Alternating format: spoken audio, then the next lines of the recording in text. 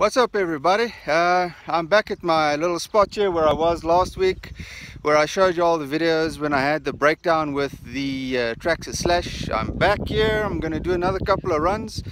Uh, this time I'm going to test battery life. Um, how long does the batteries last on this type of terrain? I've got three batteries that I'm testing today. One is a nickel metal hydrate, it's a 3000 milliamp it's 8.4 volts. Um, from the last time I ran it on a flat surface like this, it ran about, sure, if I remember correctly, about 15 minutes. Uh, let's see what it does today. Um, I've changed the pinion on the car from a 16 to a 23. The spur gear is a 90 tooth, so it's got quite a bit more speed. Um, so I'm going to run the other two batteries as well. I've got two LiPos, two two cell LiPos. One is a 3900 milliamp, one is a 6000 milliamp, and I'll see what they do as well. Um, I'm a little bit careful with running the batteries one right after the other.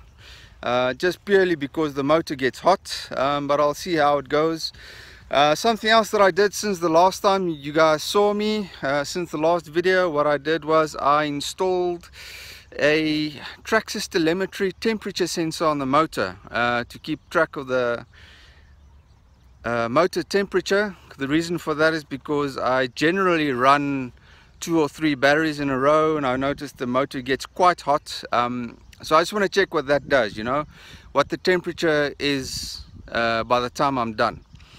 Um, just quickly show you what that looks like.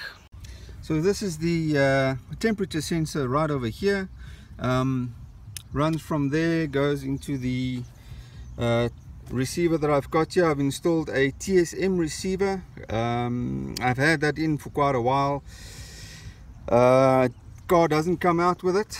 There is the sound module. I'll be running a sound module today as well. The car did come with that. Uh, I quite enjoy it. It's fun to hear the grunt of that V8 motor. Um, so that's what the electronics look like. I've got the uh, RPM sensor in here as well. See the wire coming out from the uh, gearbox cover over there. Okay guys so the first battery that I'm running is the LiPo 7.42 cell 3900 milliamp. Gonna time it with my stopwatch um, and try and see what kind of uh, time we get out of it how long we can run with it how many laps. I'm going to try and keep count of the laps. Uh, you know when we start doing this type of stuff we have quite a lot of fun and we forget to set timers. Well I do anyway. Forget to set a stopwatch start a stopwatch stop. Forget to count laps and all that. But uh, let's see how it goes. Uh, just a quick look of what I'm gonna do uh, where I'm gonna ride just gonna do simple laps nothing elaborate. Okay so I'm gonna start off over here. Basically go down here around that bend down that straight the back there around the bend right at the end there and come all the way down here again and those are the laps that I'm gonna do. Um, I'm gonna get started set up uh, the GoPro quickly here. I'm just gonna set it on this corner over here see me coming past and yeah let's see how many laps we can do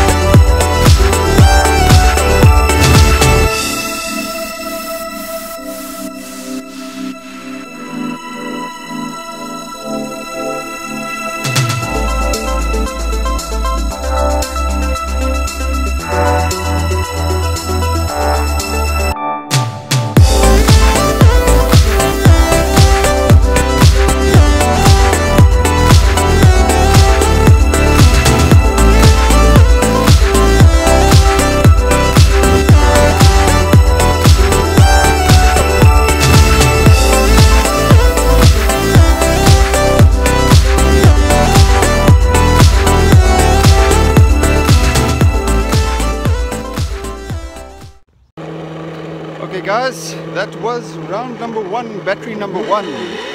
Just over six minutes. Uh, as you can hear it switching off the sound unit in the background there. Just over six minutes and like I said, didn't count the, count the lap times. I will put it up in the description in the video though. Uh, this was a 3900 milliamp. I have a feeling the battery is busy going. Um, it's not as long lasting as it used to be. Um, but let's do the 6000 milliamp LiPo and see what that does. Uh, be with you shortly.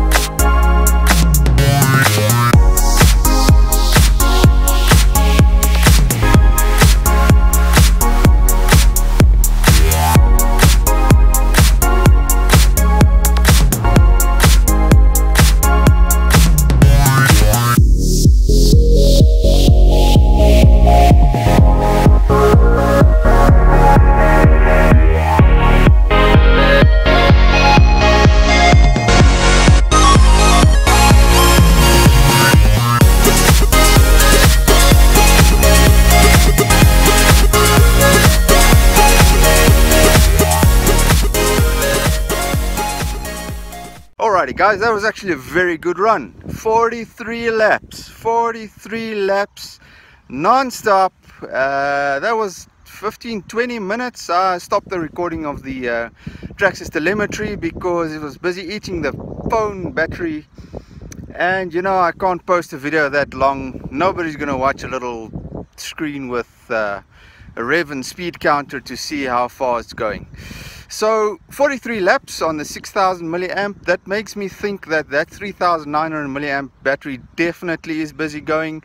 I think if I got about 10 laps out of that battery, it was a lot. Um, it is puffing a little bit, it's got a hard case around it. Uh, every now and then the hard case is popped open a little bit, not much. But I think it's about time I uh, retire that battery, maybe replace it. Um, I'll see this 4000 the 6000 is actually running quite well. I'm enjoying it a lot. And uh, now for the nickel metal hydrate which is a 3000 milliamp uh, 8.4 volts. Let's see what that does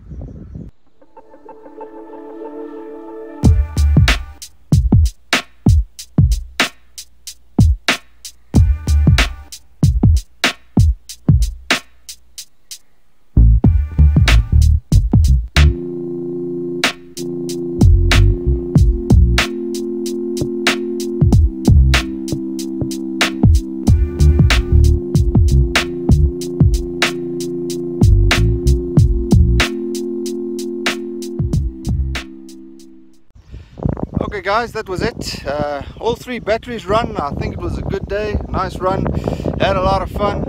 Um, just to be clear the purpose of this test was not to see which battery is better. I mean obviously you've got two different types of batteries and three different uh, milliamps.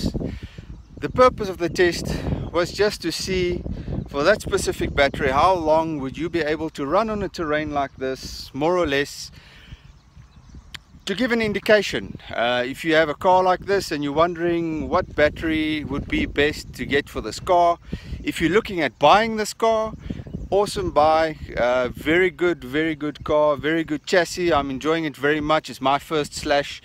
I uh, obviously would have preferred to have a four-wheel drive. They are a little bit more expensive though. In future I will think about upgrading to a brushless system. That also is a bit pricey you know where I live with imports and all of that it gets quite expensive to do that those type type of upgrades. Um, what I'm gonna do now is just gonna have a walk around at the track quickly just to show you uh, the loop that I did what it looked like. Um, there were a couple of bad rock uh, incidents where the car almost flipped forward uh, because of the riding obviously with the acceleration the back goes down the front goes over the rock the back hooks and it gets shot forward. Uh, only about two or three times. I checked out the car not any damage just the usual scratch um, on the back braces but uh, nothing too serious. Guys thank you very much for watching. If you like the video please like it please subscribe. I'm going to try and do more videos more often as I get a little bit uh, more into the hobby um, I've got a TRX4 as well. Going to do a couple of videos and a couple of trails for you. Coming soon. Please like please subscribe. Catch you later. Bye bye